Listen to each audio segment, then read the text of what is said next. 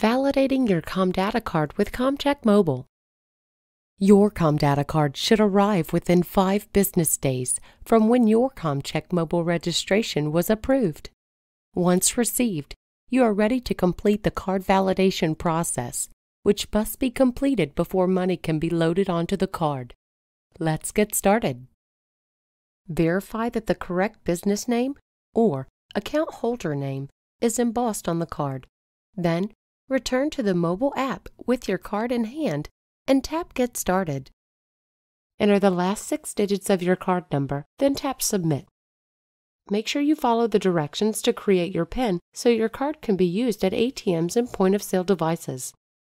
Your Comchek mobile account and card are now active and you have full functionality in the mobile app.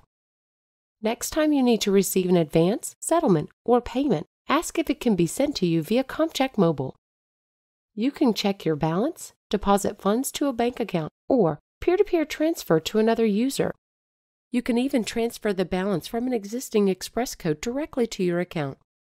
Use your Comdata card anywhere Maestro PIN debit cards are accepted, or to withdraw money from ATMs within the Cirrus network. Note that you will be charged a fee if you check your balance at an ATM. To check your card balance for free, use the home screen in the mobile app.